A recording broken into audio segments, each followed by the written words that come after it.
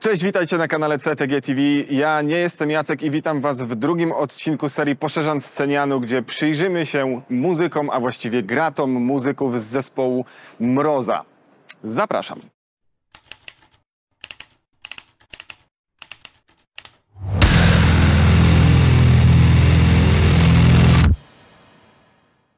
Na pierwszy ogień gitara basowa Piotr Lewańczyk. Dzień dobry, witam Cię serdecznie. Cześć, cześć Paweł. Bardzo miło, ma, bardzo miło Was gościć. Nam również miło Cię gościć na naszym kanale. Dobrze, może przejdźmy do rzeczy od razu. Zacznijmy Jasne. od gitar. Na czym grasz? Widzę, że wiszą tutaj dwa piękne basy. E, tak, tak, tak. Na trasie e, wszystko było po coś e, mroza. E, gram na dwóch basówkach. E, to jest e, Muzima Electro Deluxe. Mhm. I no i właśnie, i co to jest? Drugi. Drugi to jest. e, Bierz i pokazuj. No właśnie, może pokażę. To jest e, Muzima. E, jest ze mną od e, myślę, że ponad dwóch lat. E, to jest e, instrument z lat 70. No tak, klasykiem zajechało ewidentnie. Klasykiem zajechało takim, bym, bym powiedział, siermiężnym, bo to jest jeszcze blok wschodni, e, stary DDR. E, marzenie, e, marzenie muzyków polskich w tamtych latach. Wiadomo jak było. No tak, dokładnie. E, no i f, fajna historia. Kurczę, kupiłem ten instrument e, w takim stanie do e, reparacji Mhm, totalnej. Do remontu. Tak, do remontu. E, Do remontu przystąpił Piotr Witwicki i w zasadzie zrobił tutaj bardzo dużo, postawił ją na nogi. E, Na tyle, że gra służy brzmi bardzo charakternie, bardzo vintage'owo, ma taki fajny, środkowy, taki vintage'owy klang albo twang. Okej. No jest, jest, jest, jest naprawdę spoko. Jest y, trudnym instrumentem do grania. E, po prostu ma dużo charakteru i wymaga dużej precyzji, żeby dobrze zaatakować, dobrze wyartykułować Mhm. dźwięk, bo czasami e, po prostu no, no, trzeba się na na nie nauczyć grać. Okej, Zdecydowanie, rozumiem. E, powiedziałeś, że kupiłeś ją w stanie do odnowienia, do odrestaurowania. Tak. E, czy wszystko to, co tutaj teraz widzimy, to jest oryginał, tylko po prostu odrestaurowany, czy coś było modyfikowane? Bo pick-upy widzę, że chyba są... E, Pick-upy jest, Oryginalne, są, jeżeli, tylko- jeżeli dobrze pamiętam, Simeto. Okej. E, na pewno e, ta cała osłonka jest nowa, bo ona Mhm. w zasadzie jeszcze była mm, zafoliowana, o dziwo, jak, jak e, kupiłem A, w sensie kupiłeś ją w, w, w, zafoliowaną. Tak, bo poprzedni A, użytkownik okej. po prostu chciał, chciał coś z nią zrobić, e, ale był takim zajawkowiczem e, bardzo sympatycznym i finalnie chyba mo- być może stracił nadzieję, albo może nie miał A, czasu okej, rozumiem. i, i ja ją gdzieś tam przejąłem. Okej. Ale ty, tak, ty, w ogóle ta osłonka była jeszcze zafoliowana. E, Wydaje mi się, że poten, potencjometry nie są No jeszcze tak, no to jakieś takie części reszta- powiedzmy eksploatacyjne, to reszta, jasne. Reszta, reszta jest oryginalna. Okej. No dobra, spoko. Także, Czyli po prostu także taka fajna historia. klasyk postawiony na nogi, z którego ty teraz robisz dobry użytek. Yy, Na żywo. Mam nadzieję, mam nadzieję. Yy, To jeszcze taka historia była ze strunami. E, bardzo długo szukałem strun do tego instrumentu. Są flaty? Tak, oczywiście to są flaty. E, z tym, że jak się okazało, flaty flatom nierówne i nie, ka- Mhm. nie każde flaty dobrze działają z każdym instrumentem. Okej. E, ja zazwyczaj jak e, sięgam po flaty, to sięgam po labella, takie Mhm, najbardziej klasyczne. E, natomiast tutaj się okazały zbyt środkowe. Okej. Po prostu znaleźć instrument miał innego. bardzo środkową barwę, bardzo cool. Nie miał tego dołu, miał dużo więcej tam właśnie w okolicach e, kiloherca. E, I finalnie postawiłem na piramidy. Nie wiem, czy znasz piramidy, takie Nie. struny. To, jest, e, to są niemieckie struny, stara manufaktura, która kiedyś robiła tam w latach 60 70 struny do Hofnera. A, okej, rozumiem. Więc y, najbardziej głuche struny, jakie możesz sobie wyobrazić, po prostu są w tym instrumencie. I akurat te tutaj one pasują. I te struny wyrównują właśnie ten, ten cały środkowy y, vibe tego Jasne. instrumentu. Jasne. Jak się stroicie? Że tak jeszcze zapytam, jak już jesteśmy przy temacie strun. Klasycznie. klasycznie. Standard E. Tak. Okej. EADG. y, y, 440 Hz. Okej. Doprecyzowując. Doprecyzowując. Nie 432. Okej, a szkoda. No. No, y, także tak. sta- Standardowy strój, standardowa Okej. sytuacja. Straploki Dunlopa, dobrze widzę? Tak jest. Y, Super. W każdym basie w zasadzie mam taki standard sobie wziąłem. Pasuje mi po prostu. Okej, gitara. Słuchajcie, to jest, to jest też fajna historia. E, co to jest za instrument? Przeklejona główka, tak mi się wydaje. No właśnie. E, Generalnie to jest e, generalnie to jest Fernandez, końcówka lat 70. e, z firmy Tokai. e, Precision, kopia Precisiona. Ale to nie ma znaczenia, ponieważ jest to Yumi Queen Base. I to się liczy. Okej, rozumiem. To się liczy, reszta jest nieważna. I też pełen stok chyba, nie? Albo W nawet nie wiadomo, tak, ale wygląda w zasadzie jakby nie tak. było Też potencjometry, potencjometry to ja akurat wymierałem. Okej. Yy, także, także tak, standardowa sytuacja. No dobra, a wcześniej wspominałeś o strunach. Tu są te same struny co w poprzedniej? Czy Nie. tutaj już wróciłeś Nie. do labeli? Tu są, tu są labeli, Okej. tutaj akurat labela nie, się świetnie sprawdziła. Wydaje mi się, że piramidy byłyby za głuche. W sensie nie byłoby, nie byłoby Musiałbyś, musiałbyś sprawdzić się, przekonać chyba.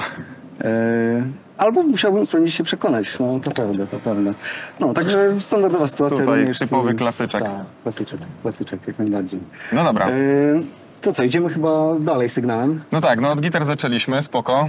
To gitara, rozumiem, wchodzi do pedalboarda, który leży za mną. Tak, wchodzi do, pedalbo- do pedalboarda, ale jak wchodzi? Mianowicie y, przez kable Fat Cables. Mhm. E, świetne kable polskiej e, Znamy, produkcji. znamy, pewnie. Znacie? E, Jasne, jak najbardziej. No, są niezniszczalne. Są niezniszczalne. One ze mną jeżdżą naprawdę długo i nic się z nimi nie dzieje. E, Czyli bez przewodu cię nie przekonują. Bez przewody?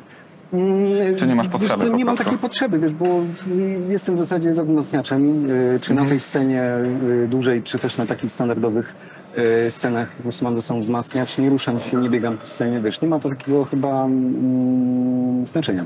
No, jasne, się jeżeli wydaje. nie potrzebujesz, to No, pewnie. No. Y, więc tak, y, więc kable Fat Cables y, i pedalboard. Dobra, gitarę mamy za sobą. Tak. Już wiemy o kabelkach, wiemy dlaczego nie bez przewód. Tak. Co się dzieje, powiedz teraz tutaj, w twojej desce. E, w desce. Deska jest, y, hmm, bym powiedział, raczej skromna. W zasadzie y, Jest prosta. y, Jest prosta, y, posiada tylko to, czego tak naprawdę potrzebuje.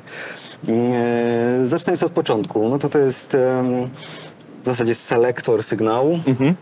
E, taki Gigriga? Tak, Gigriga, brytyjska firma. W ogóle ciekawe, bo jak szukałem takiego sprzętu, to okazało się, że to nie jest wcale oczywiste, żeby, e, żeby były dwa wejścia albo więcej i na jedno wyjście. Raczej jest na odwrót, że jest jedno, jedno wejście na parę. Uwierz mi, doskonale to rozumiem. Tak? Przechodziłem przez to samo, Ale tak. nie, nie wiem, dlaczego tak się dzieje. Przecież chyba, nie wiem, chyba to jest bardziej... Yy, Tak, ale często, Potrzebne. często, przynajmniej w moim e, odczuciu jest tak, że coś, co wydaje się mega oczywiste, wcale takie nie jest i nie ma takiego no sprzętu. więc y, tak, więc szukałem długo i finalnie się zde- zdecydowałem na Geekriga. Mhm.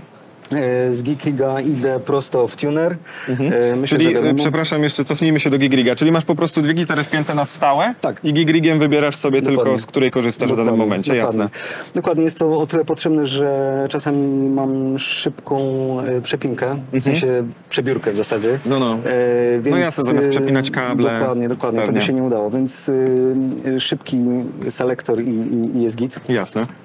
Tuner, wiadomo. Mhm. E, dalej jest oktawa remixera.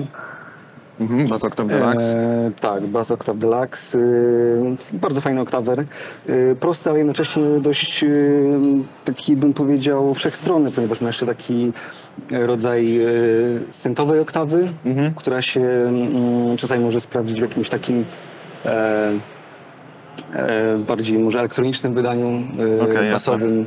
Specyficznie brzmiąca oktawa. Tak, tak, tak. Taka Mhm. mocno, mocno syntowa, bym powiedział. E, dalej jest Vox Cultron. Fantastyczny przester.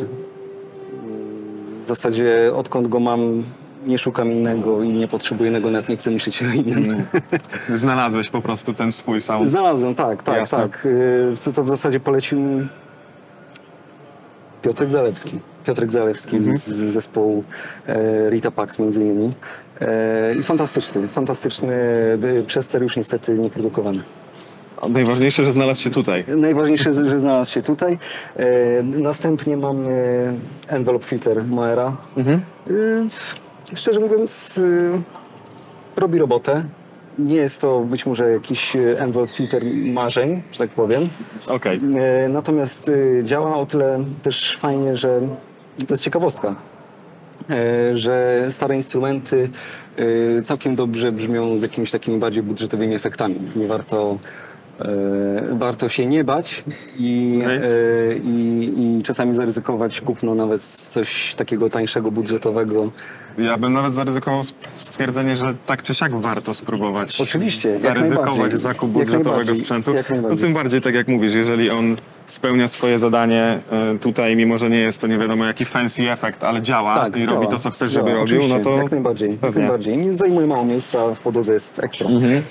No i na końcu jest e, taki nawet powiedziałbym powiew świeżości w postaci Strymona. Strymona, e, ale Strymon jest ustawiony e, tylko i wyłącznie na pogłos sprężynowy. Mhm. Także raczej klasyczny po prostu sprężynowy pogłosik w niektórych numerach dodaje jak jakiegoś takiego bardziej przestrzennego vibe'u, Mhm. Powietrza. powietrza troszkę. No. Okej. E, Wszystko zasilane czym? Tomankiem. Okej, zasilacz to manka Tak, pod spodem jest. na małej, praktycznej desce. Tak. Super. Tak. No dobra, czyli rozumiem, że e, cały sygnał przechodzi przez efekty Tak. i wchodzimy sobie do głowy.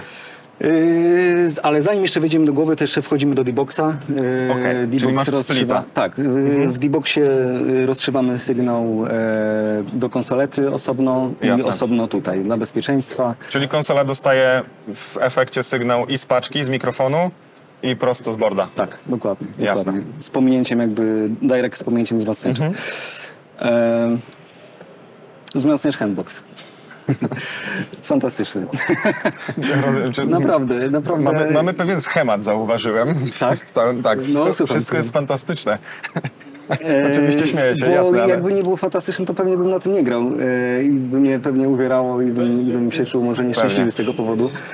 E, natomiast Powiedz coś więcej o, o handboxie, bo szczerze mówiąc nigdy nie, nie trafiłem na ich sprzęty.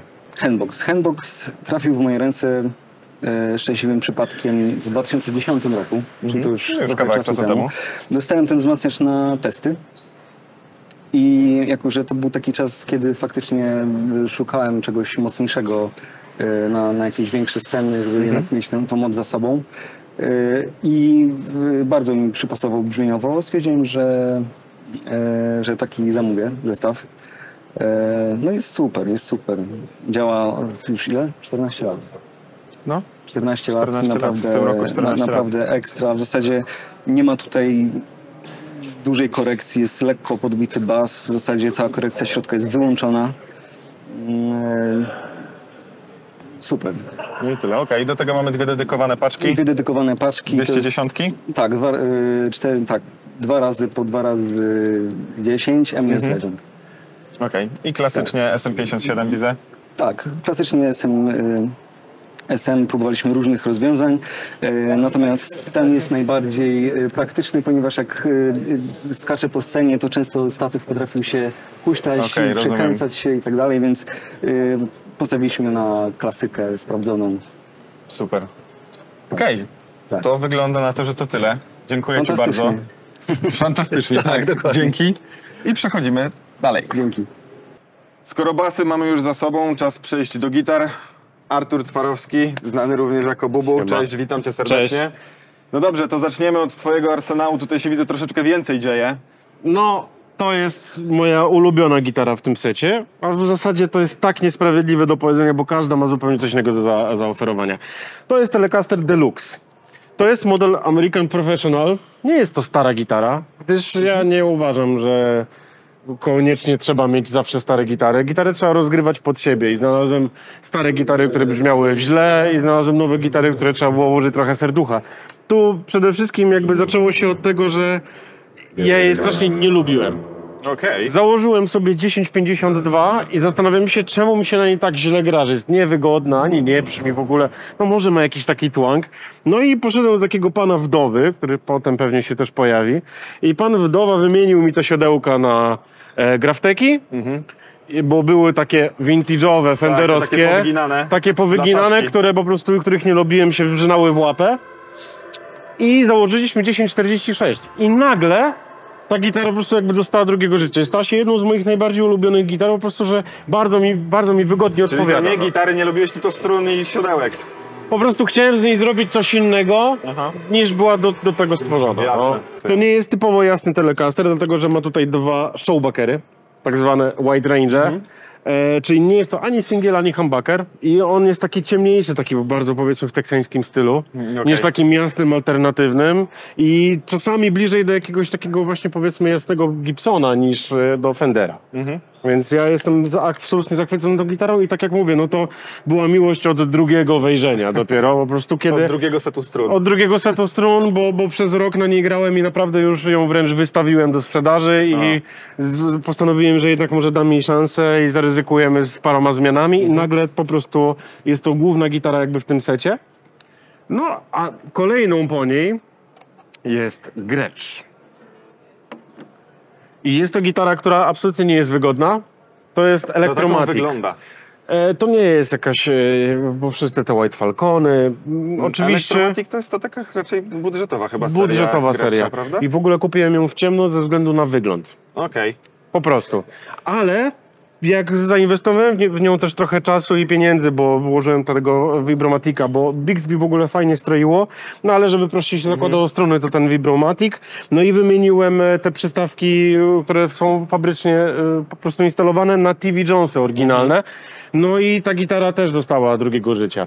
Nie jest wygodna, ale lubię ją po prostu względu na ten taki no, vintage'owy charakter, po prostu jest taki vibe właśnie takiej powiedzmy, że hollow body, no nie jest to jazzowe w ogóle, nie No, w ogóle mo- jasne. mowy o czymś takim, bo ma ona i tak jest jasna. no. Ma swój klimat, ma też wygląd w ogóle odpowiedni i wszystkie te powiedzmy jakieś takie ciemniejsze numery w ogóle lepiej na niej siedzą, Mhm. tylko tak jak mówię, no gitara do, do solowych nie należy. Mimo, że coś tam na niej gram, ale to przy fuzie zniszczonym, to wtedy Tak, tak. brzmieniowo właśnie pochodzi bardziej o jej charakter niż to, że jest to gitara, którą nie, uwielbiam na niej grać. No, nie mogę tego powiedzieć, ale lubię ją, bo ona po prostu swoim brzmieniem i wyglądem dużo rekompensuje. Jasne, no prezentuje się bardzo dobrze, zdecydowanie. Zdjąłem z niej właśnie taki, był tutaj Pickguard, taki taki, ala, no. złoty, on był fajny, ale też do wniosku, że właśnie jakoś ja mam czasami fazę, żeby mieć białą gitarę, jeszcze biała ze złotym, to tak jest trochę Elvisowo, nie? No tak troszeczkę, odrobinę tak. No i trzecia, którą mam akurat w tym setupie koncertowym, to jest, w zasadzie to powinienem oni powiedzieć, że ona jest moja najbardziej ulubiona, bo jest najbardziej rockowa. Ale no, ma swój, po prostu spełnia swoje zadanie, nie? Jest to Fender Jaguar Kurt Cobain, e, meksykańska wersja, dwa humbuckery, które same w sobie już są dość mocno przesterujące, bo to są chyba Distortion Plus, z tego co dobrze pamiętam. Tutaj korzystam bardziej z tego jako kill switcha, bo tutaj mamy przeciwfazę, żeby sobie ewentualnie jasne. włączyć przystawki, no ale korzystam z tego, tak jak mówię, bardziej jako kill switcha. E, normalny trójpo, trójpozycyjny, E, ten mostek, który nigdy nikomu się nie podobał i nigdy nie będzie stroił, po prostu jest i jakoś się udało go ustawić. Tu jest 1052 akurat montuję, dlatego że ta gitara ma dość, jak na ten charakter powiedzmy vintage'owy, ma dość płaski gryw, jest bardzo wygodna. Ja lubię na niej też grać solówki, właśnie lubię na niej grać, bo ona jest taka bardzo manualnie szybka. Mimo, że nie powinna być, no bo jest to jednak bardziej gryf, powiedzmy, no oldschoolowy. Jest to no. wenderowski oldschoolowy gryf. Ale jakoś tak się układa z moją łapą, że wszystkie te takie bluesowe rzeczy, czy ro- rokujące, wchodzą na, nią, na nie idealnie. Fajnie. Z tych trzech, szczerze, zdecydowanie ta byłaby moją ulubioną. no bo wygląda czadowo, no. No tak. Ja się też, też, też nie powiem inaczej. No Ja ona jestem, wygląda... Jestem fanem telecasterów, ale offsety ostatnimi czasy wchodzą mocniej. Mi się bardzo podoba w ogóle to, że, że się zdecydowałem na tą gitarę akurat i powiem wam szczerze, też ją kupiłem w ciemno. Kupiłem ją w ciemno No, na zasadzie tak katalogową Tak. i dostałem, ona od razu mi zażarła. Na tym setupie, na którym była, było Mhm. 1052 i niewiele z nią było robione, ale potem też trafiła do wdowy i wymieniliśmy mostek po prostu, bo tamten był taki trochę tani. No bo już wiadomo, No jest to tak, Jaguar, jasne. nie Jazzmaster, więc wiadomo, że gdzieś tam na, na, na pewnych rzeczach y, trzeba było wytanić, żeby było Mhm. kosztownie tak, jak powinno być. Jasne. Ale ten mostek tutaj nowy to jest chyba Graftek, e, po prostu spełnia robotę, gitara stroi, wszystko się zgadza. No i brzmieniowo jest masakra, nie? Ona tak w ogóle brzmieniowo to jest najbliżej e, Les Paula, jaką tylko mógłbym mieć chyba gitarę. Czyli humbuckerowo i ciężko. Jest humbuckerowo, jest ciemno w ogóle, także naprawdę dobrze, że mam tego twin reverba, bo tam jak wtedy odpalę tego twina, to dopiero mam jasność, a przy Bassmanie od razu jest typu ciemność. Gitary były, czas na efekty, więc przejdźmy sobie do tej przeolbrzymiej deski. To o jest, Jezus. to jest Zaczynaj, deska bo od ja nie wiem, G-Laba. gdzie mam zacząć. Przede wszystkim, ta deska jest dzięki mojej współpracy z e, firmą G-Lab Mhm. i z Konradem Partyką, który wtedy u nich pracował i wtedy wszystko mi pomógł ogarnąć. E, sprezentował mi tego GSC4 i pomógł mi to, że tak powiem, ustawić. To jest druga wersja tej podłogi, Okej. bo ta podłoga była trochę inaczej wyglądała, miała troszeczkę innych kilka komponentów, Mhm. a teraz jest już ta wersja moim zdaniem ostateczna. Bo nagle Na razie. zewsząd pojawiły się efekty Universal Audio i po prostu jak próbowałem je wkleić do tamtej wersji, to wszystkie brzmienie musiałem mi tak od zera, więc stwierdziliśmy, że zrobimy to raz dobrze i porządnie. I naprawdę jestem teraz mega zadowolony z tego, jakie możliwości ma ta decha. E, w- Sterownik jest super. Kto miał do czynienia z tym GSC4 wie, że po prostu jest to dobry, konkretny grat. Fajnie, że ma sterowanie MIDI, bo też z niego korzystam. Jeszcze pod spodem w ogóle są zasilacze, jeszcze pod spodem jest e, taki M4L, który mi odpowiada za pętlę efektów, która idzie do wzmacniacza i z powrotem. Jasne. No a co tutaj mamy? Volume pedal zacznijmy od pi- pierwszy, bo mamy tutaj podziałkę na i, które są w szeregu, które są w presetach i te, które są w pętli efektowej, więc Okej. zacznę od szeregu. Dobra. W szeregu jest pedał głośności, Ernie Ball, który uwielbiam, G-Lab, kaczka. Kaczucha, aha. Po prostu. Przez lata miałem RMC, potem jakieś custom audio, ale ten G-Lab jakby jest na tyle oryginalnie brzmiącą kaczką, Okej. że, że bardzo mi się spodobał. to, co... Znalazłem to, co, czego potrzebowałem i na początku nie byłem przekonany, ale sam fakt już, że tylko wystarczy, że położę nogę, to to, to działa, nie? Następnie mam tak zrobione, że w tym GSC4 mam bufor, bo każda gitara ma troszeczkę No, jasne. inne wejście, inny poziom wejścia. Czasami z niego kosztem, czasami nie. Ale pierwsze, co jest w ogóle tutaj w mojej jedynce na lupie, będzie kompresor.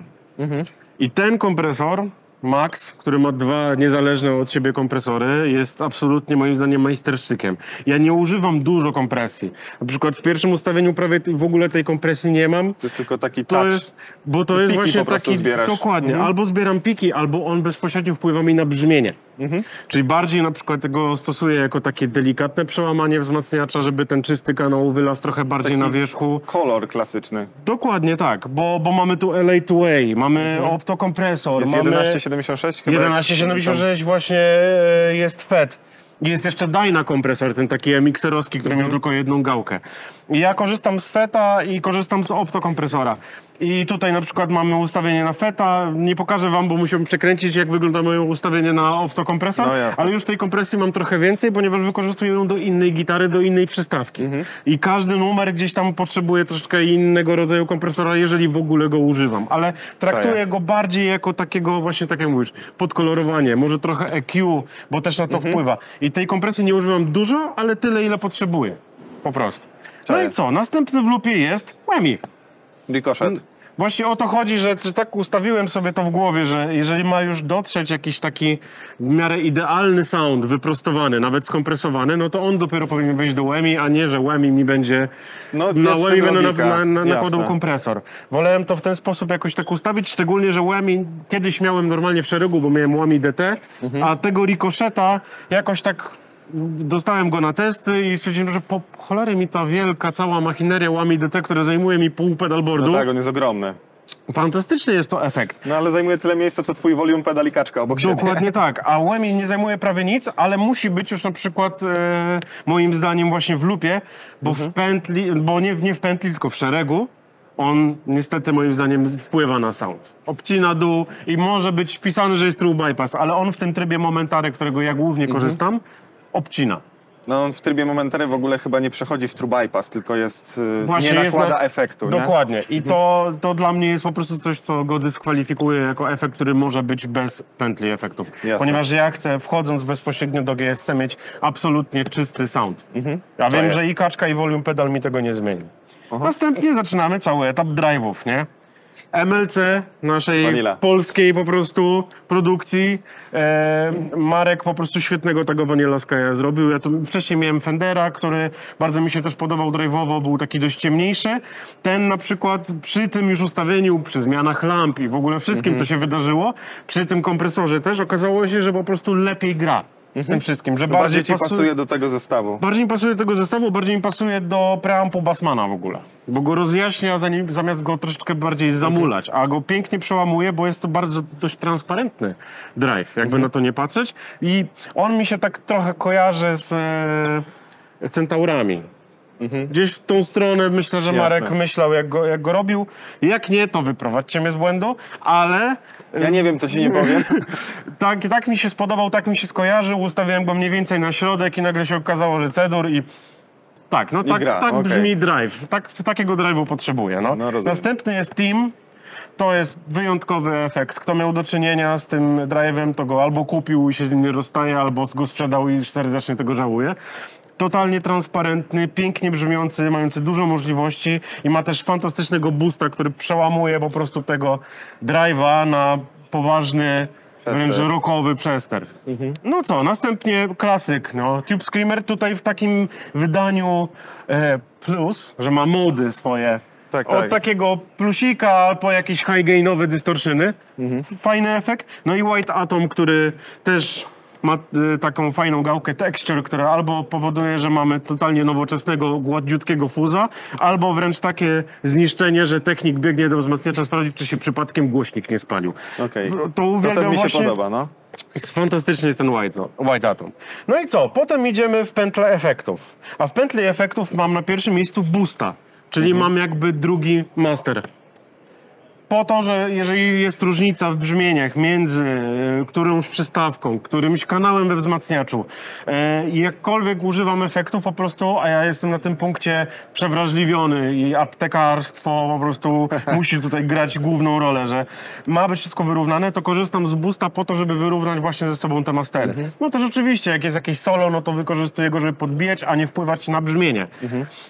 Co następne? Idziemy do Więc, y, Eventide'a. Tak naprawdę, przepraszam, wróćmy do, do busta na chwilę. Hmm? Wykorzystujesz go trochę jak volume pedal w pętli na sztywno. Tak. Po prostu. Okej. Tak. I go oczywiście z niego korzystam lub z niego nie korzystam. No tak, No to oczywiście. wie- jak to, jak to wiadomo, bo pętla jest sterowana przez MIDI i w pętli sobie wybieram, czy któryś z czterech efektów, które mam w MIDI y, włączam lub wyłączam, nie? Mhm. Mam Eventide'a, którego mam już od dawna. Jest to mój ulubiony modulacyjny efekt. Ma fantastyczne chorusy, fantastyczne Mod tremola. Mod Factor po prostu daje radę. To jest jeszcze w ogóle na starym oprogramowaniu.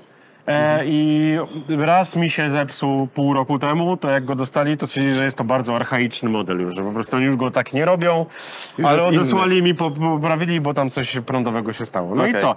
Idziemy do timeline'a Strymona, który ma jeszcze pedał ekspresji. Żeby w razie czego zmienić sobie tempa, żeby ewentualnie też wpływać na głośność delay, jeżeli mam go za dużo, za mało. Fantastyczny delay. Ja potrzebuję mieć e, taki delay, który będzie miał do ustawienia presety, którym będę mógł sobie BPM-y wpisać na sztywno. Jasne. I, I to wydaje mi się, że... go z nogi y, sterownikiem. Oczywiście, a no i najważniejsze creme de la creme, że tak powiem, tego podłogi, na torcie. to jest e, Golden Reverberator. To Ładowski po prostu reverb, który moim zdaniem rozwalił wszystkie inne reverby. Dostałem go na testy, robiłem nawet filmik z nim e, i od momentu, kiedy tylko go podłączyłem, to w życiu takiej sprężyny, mimo że mam sprężynę we wzmacniaczu, to nie wiedziałem, że tak może brzmieć. I po prostu na jakości studyjnej mam teraz efekt, który po prostu koncertowo rozwala i słychać tą sprężynę, wpływa na brzmienie. Ona jest bardzo dynamiczna, jest tak wręcz plastyczna, że naprawdę to, co zagram, oddaje mi ten efekt. Bardziej niż mała sprężyna, którą mam we wzmacniaczu i bardziej niż sprężyny, które miałem już, że tak powiem, no w tych innych poprzednich efektach. No więc jakby ten reverb kosi wszystko, co do tej pory miałem, jak chodzi o reverby. A zaznaczam, że kiedyś w ogóle były czasy, kiedy reverbu żadnego nie miałem i uważam, że po co to? to w muzyce metalowej. No tak. Ale od tamtego czasu się sporo zmieniło. No tak, tak. Właśnie Nie. chciałem powiedzieć, że gusta się zmieniają, potrzeby również, więc Ale tak jak mówię, szukałem, słuchajcie, po prostu takiego reverbu, który będzie się pokrywał z tymi, co słyszałem na płytach Led Zeppelin, na tych wszystkich po prostu oldschoolowych rzeczach, które do mnie trafiają i to wystarczyło ustawić na środek, odpalić nagle tej sprężyny szukałem. Weź moje pieniądze, daj mi efekt. Shut up and take my Shut money. up and take my money. Więc jakby ten zestaw tutaj jakby no niczego więcej już nie potrzebuje. I teraz jak ktoś mi właśnie pokazuje różne fajne efekty, oczywiście, że zastanawiam się, a może tego drive'a wymienić, a może coś, ale Na Ale tą raczej- chwilę myślę, że tak z rok. Nie wiem, co by się musiało wydarzyć, żebym naprawdę zaczął myśleć o tym, żeby po prostu kombinować w ogóle jakąkolwiek zmianę. Więc teraz jest wszystko podobierane, pomijając fakt, że jest tak estetycznie i ładnie zrobione, że no podoba mi się. Okej, rozumiem. Czyli teraz tak naprawdę jedyne, co się może zmienić, jakby znalazłeś swój ideał, jedyne, co się może zmienić, to poszczególne elementy, bo jeżeli dobrze cię zrozumiałem, to to jest setup, który... Myślę, że to jest setup. Myślę, że ewentualnie mogę coś szukać w jakichś drive'ach, bo tego wychodzi co chwilę. Mhm. No tak, dużo, no. dużo ciekawych rzeczy po prostu się Drive'ów jest pojawia. najwięcej chyba ze wszystkich I te, możliwych te drive'y po prostu potrafią zaskakiwać, ale musiałoby się coś mocno wydarzyć albo w moim myśleniu, albo w graniu, żebym coś w ogóle chciał wymienić, ponieważ nie znajdę lepszego reverbu ani lepszego kompresora. Mhm. Delay st- robi to, co potrzebuje. No nie potrzebuje większego łemi, więc naprawdę, Jasne. No nie wiem, no, no, czy mogę się do czegoś przyczepić? No jeszcze mam tutaj kawałek wolnego miejsca, to zamiast tego mógłbym coś wrzucić, ale już nie mam lupów. Jakiś, jakiś taki... A, no to tylko szereg No ewentualnie. tylko ewentualnie szereg, a szereg co, już nawet buforowane będzie mi wpływało na brzmienie, no i to dyskwalifikuje. Okej. No dobra. Super. I na samym końcu twojego brzmieniowego łańcucha mamy... Fender Supersonic Twin. To jest taki szczególny wzmacniacz, e, którego wyszło niewiele, bo nie był to dość udany projekt. I z takim Okej. moim magikiem Areczkiem Wyzińskim, którego serdecznie pozdrawiam, przerobiliśmy go na dziesiątą stronę. To ma 12 lamp, to jest straszny potwór w ogóle. E, trzy preampy, bo jest e, Supersonic, który jest jak przesterowany, jest Bassman i Twin Reverb. Okej. I jeszcze do tego w ogóle są głośniki 16-omowe Vintage 30, co raczej do Twinów rzadko kiedy było montowane, więc naprawdę potwór, Okej. głośne, cholerstwo jeszcze ma sprężynowy reverb, który zamieniliśmy na trochę mniejszy, żeby się nie wzbudzał, bo przy głośności na 4, uwierzcie mi, Mhm. No tutaj nie da coś- się stać, nie, bo to, a Jasne. się wzbudzało, wszystko sprzęgało i w ogóle. Ja lubię z niego korzystać, dlatego że nie do każdej gitary pasuje Bassman, bo jak mam jakieś hollow body, no to na przykład lepiej, żeby był Twin, bo fajniej się ta górka Mhm. po prostu będzie drapała szkliwo po zębach, a z kolei Bassman na przykład lepiej się odzywa na telecasterze, więc to jest też tak e, kwestią po prostu wyboru tego, co w danym numerze lepiej e, zagra, dlatego fajnie, że jest ta, ta rozdziałka i na Twina, i na Bassmana. Czyli to jest w sumie taki trochę wzmacniacz Frankensteina, Tak. który jest w stanie ci zagrać praktycznie ze wszystkim, z całym arsenałem. Tak, aczkolwiek jest to typowo też Fenderowy wzmacniacz, który ma swoje specyficzne brzmienie, więc no nie każdy go będzie lubił, ale jeżeli ktoś po prostu szuka tego Fenderowego soundu, to ja uważam, że on ma po prostu wszystko, bo ma fajny, fajny właśnie taki mięsny dół, piękny środek, a z kolei ta właśnie góra, tak jak lubimy w Fenderze, drapie to szkliwo po zębach. Tak, I, tak. I super Ściera właśnie. I też są dobrane pod to szczególnie mikrofony, bo ten wzmacniacz różne iteracje przechodził, nie? Jakby Mhm. różne lampy, inaczej go też, bo on ma automatic biasa z tyłu. Wieczne jaja były z tym. Mo- możemy spojrzeć na to w ogóle z tyłu, ale najpierw powiem ci o co chodzi.